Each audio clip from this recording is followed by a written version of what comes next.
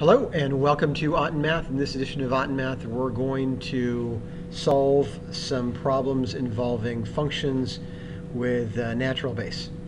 All right, so remember natural base is just that uh, number that's derived from the expression 1 plus 1 over n to the n as n becomes, uh, as n graduates to infinity, and we get a result of about 2.718.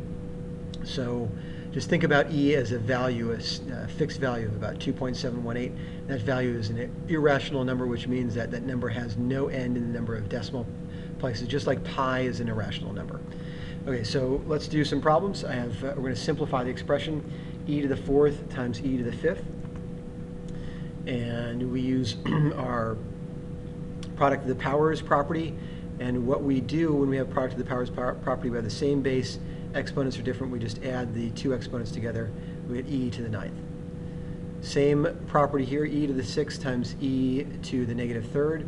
Now I'm just adding the two values together, I get e to the third.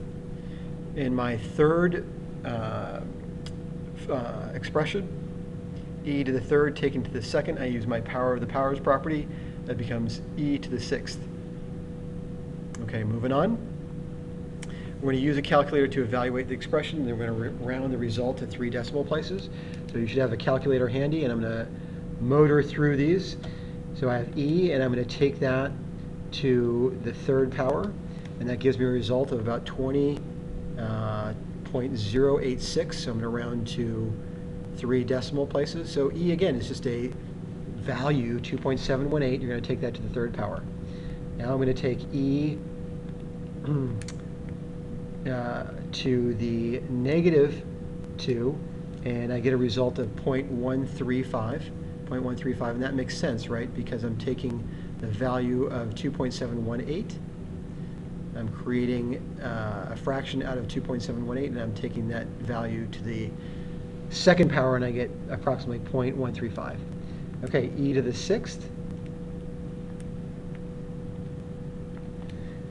403.429.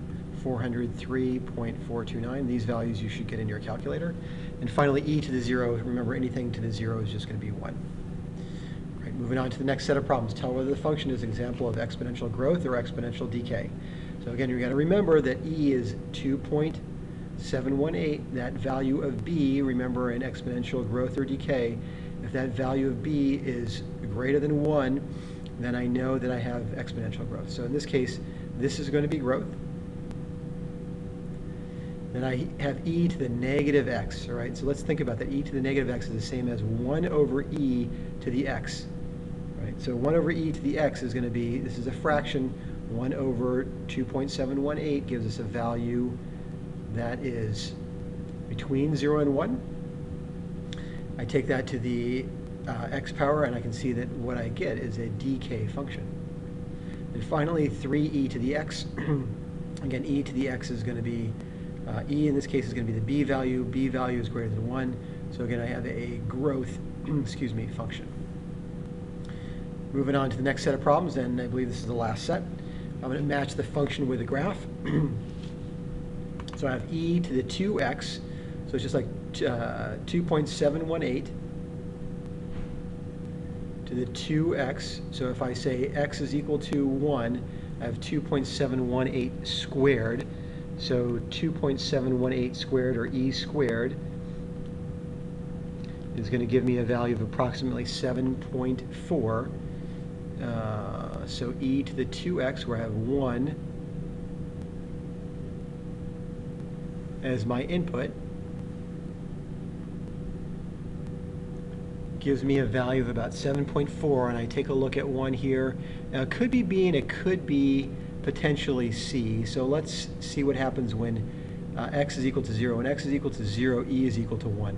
So it looks like this value here and then uh, 1, 7.4 uh, gives me b as the uh, matched graph for this particular function. Now I say e to the 2x minus 2. Now this is pretty easy. I know that I'm just going to shift this graph right to the right 2.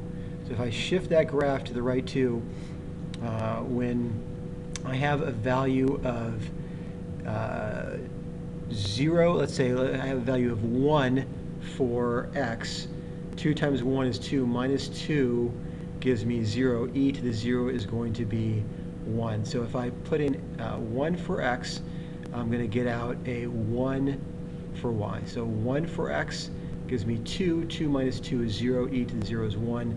So a is going to be the result for my second function. And finally, I look at, so I've just shifted, uh, for this particular function, I've just shifted the graph to the right 2.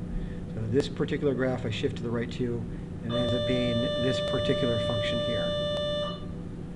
Right, my last question, uh, my last graph, I have f of x is equal to e to 2x minus 2. In this case, I'm going to shift the graph down.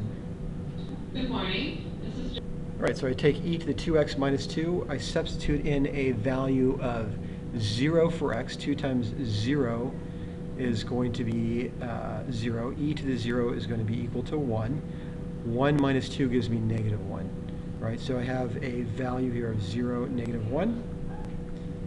If I substitute in 1 for x, I get uh, e to the uh, 2, which gives me about 7.4. I subtract 2 from that, I get about 5.4. So my result for 1 is going to be 1, 5.4. And the answer here for this particular match graph is going to be C. All right, that's it for handling problems in E and functions with E. Uh, we got a lot more to learn about logs coming up in the next section of Auten Math.